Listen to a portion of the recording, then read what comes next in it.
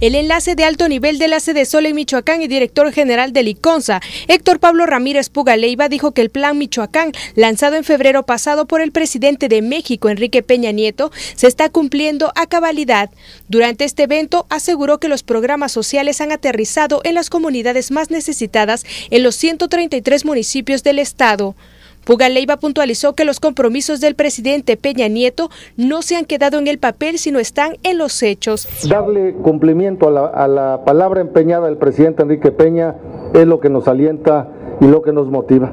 El plan Michoacán no está en el papel ni en el discurso, está en los hechos y está en el territorio.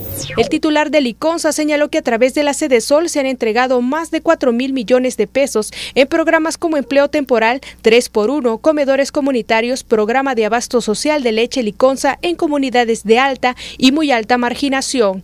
Héctor Pablo Ramírez Pugaleiva señaló que los presidentes municipales de Michoacán pueden constatar en sus comunidades la palabra cumplida del presidente, que no solo se quedó en el tema de seguridad y que a través de la sede Sol y de la participación productiva de la sociedad se han apoyado a quienes más lo necesitan.